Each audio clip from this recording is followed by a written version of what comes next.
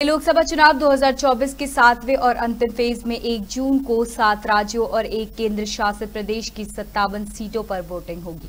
बता दें कि 2019 में इन सीटों में सबसे ज़्यादा भाजपा 25, टीएमसी 9, बीजेपी 4, जेडीयू और अपना दल दो दो और जेएमएम महज एक सीट जीत सकी थी।